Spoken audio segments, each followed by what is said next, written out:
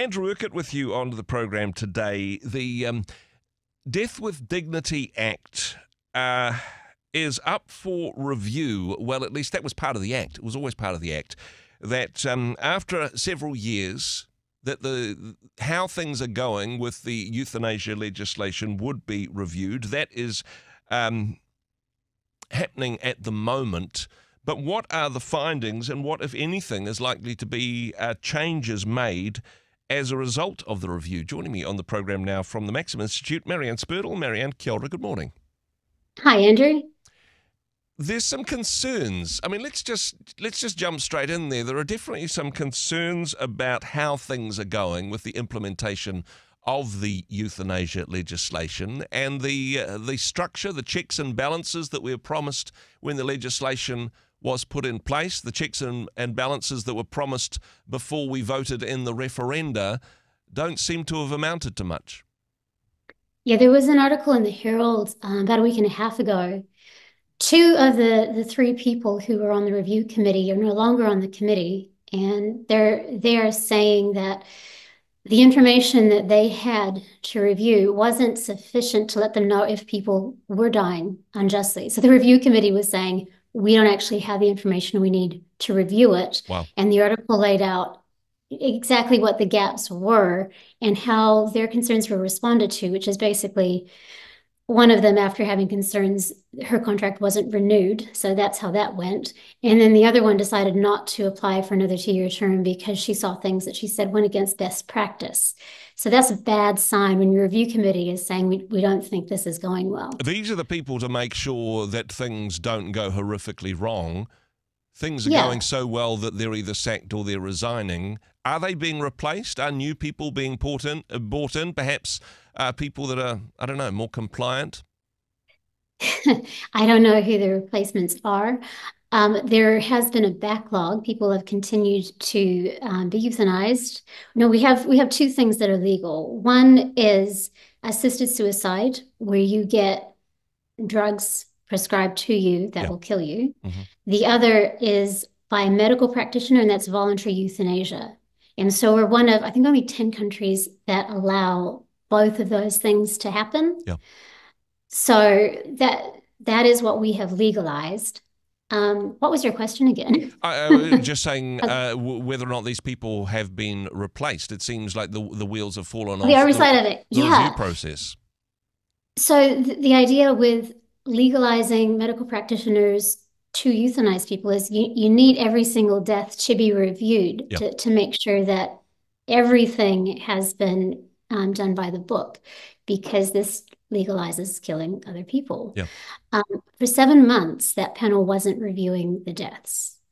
Wow. So they've got a backlog. Um, now, apparently, the committee, um, just in time for the review that's due out in November, the committee now has three members on it again, okay. yep. and they're working through the backlog. Um, but e- even the ones that preceded it, the, the previous committee weren't able to actually sign off and say that they knew for sure that nothing had been um, untoward. These people died. Well, people died either by their own hand or um, with the help of a medical professional without any oversight, without anybody checking that this was done properly. It was being checked. Um, now, the vast majority, um, well over 90%, were uh, medical practitioner, mm-hmm. not um, assisted suicide. They were checked. The, the problem was, and some of it appears to be an IT fault, where lines that had nil in it just were left blank. And so they go back and say, um, where's this information? Yeah. The Ministry of Health literally told them that if there was no information, to assume everything was okay. Wow. One of them, Dr. Gravel, actually took her concerns to doctors who were involved, went back to them for more information which sounds like her doing her job because she is part of the oversight committee. Yeah.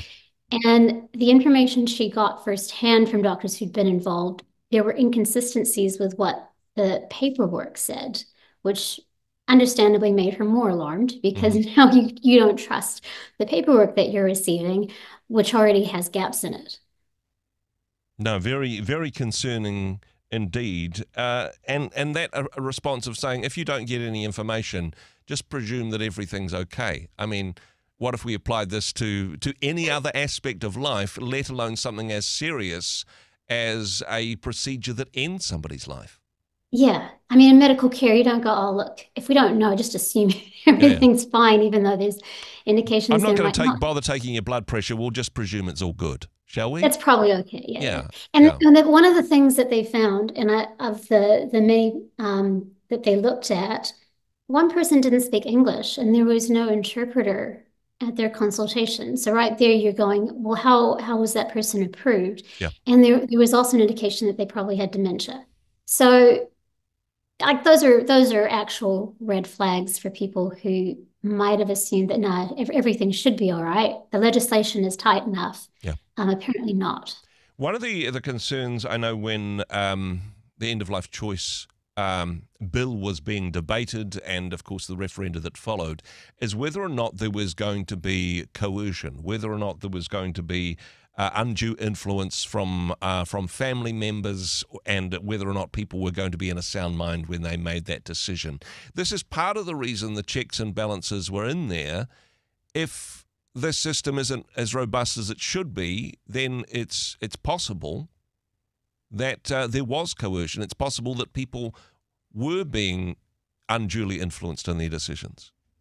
Yeah, and this is where you can look at what we don't know two different ways. You can say, well, we don't know, so it's probably okay, or you can say, we don't know and we should. Yeah. So you've got Todd Stephenson, um, ACT Party, who is introducing a members bill that would remove the requirement that you have a, a six month prognosis. Yeah. So you have to be terminally ill and have a six month or less prognosis.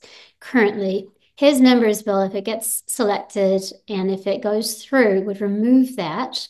So there there would still be requirements you'd have to meet, mm-hmm. but your death would have to be imminent, and you would still um, qualify. Just a minute. You had is, him on Q and A. Yep. Uh, uh, this is being proposed even before we've had the review process. Yeah. So. Uh, r- rather than say, "Hey, let's see how it's going first before we decide whether it needs tightening up or loosening," uh, we're just going to charge ahead, presuming that everything's all good again, right? Yeah, exactly. Well, David Seymour has said from the beginning, and he can't introduce private members' bills, which is why on yep. this subject, which is why um, Todd has. He said from the beginning that the only reason some of the restrictions are in there was to get the legislation over the line. Yep. He he was never happy with having the six month.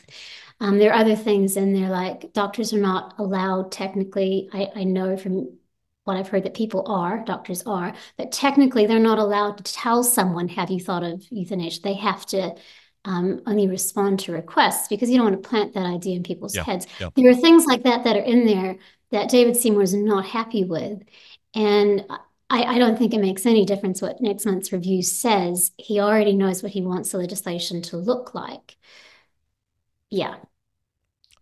So yeah, Todd Stephenson on Q and A, he said, "Well, we, we can't always know for sure that there was no coercion," and he was saying that in the sense of, "Well, there, there's no way to be sure, so why try harder? Wow. instead of going, this is a problem, we can't know for sure," and it doesn't seem like, based on the review committee's experience, there's evidence that there's been um, e- even even an attempt in some cases to ensure there hasn't been coercion. It's just been an assume everything's okay attitude. Yeah, yeah. So uh, the review process about to happen, it seems that, uh, well, some MPs at least uh, are just going ahead and, and, loosening the regulations regardless of what happens with the review process. Given that uh, the committee have, um, well, those that have the concerns have been sacked or have, have left under their own regard, um, how optimistic are you, Maryanne, that there will be a robust review process? And even if there is, optimistically, that their findings will be um, taken notice of? Yeah, the, the process um, it's it's two pronged. You've got a review by the Ministry of, of Health, and yep. I don't know who's doing it. I, I cannot predict what that's going to say. Um, based on the way it's been run so far, I don't have high hopes. And then you've got the public consultation that ended last month. Yep. Um, I hope that concerns like those of the two people who are no longer in the review committee are are seriously dealt with and and addressed directly. I think that that's why I'm writing about it this week. Um, and at Maxim, we're we're paying close attention to what's going on here because there are some serious concerns. There were before the legislation came through, and then the way that it has been implemented, um, it looks like all of the the people who raised concerns to begin with before it was passed, all of those things seem to have been proven justified. Mm. Mm, but hey, whether or not the the government will respond to that, and uh, and we'll see how this this process resolves. I mean, in some ways, it's good that there were checks and balances, but not really any point if those checks and balances, firstly, aren't working, or secondly, are going to be ignored, even if they raise concerns, right? Yeah, yeah. In their own words, they said they were constrained to the point of irrelevance. That's in a letter to, Wow. to Shane Reti. So I mean, they didn't feel like they were there for any any good purpose. So Mm. that that a minimum needs to be in place. Hey, this is a such an important uh, topic for for all of us, I suppose, in New Zealand. The uh, the article that you wrote that's going to be available on the Maxim website, I understand, and uh, people can Google search the original Herald article that you're responding to in that regard as well.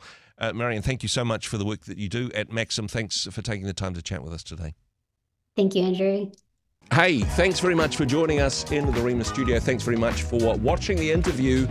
It's kind of nice to have an audience, actually. And if you did like what you watched, then do give us a like, do give us the thumbs up. And if you'd like to see more interviews like that one, or perhaps even better, subscribe and those interviews will come straight to you. Don't forget to turn on your notifications, and we'll see you in the next one. Cheers.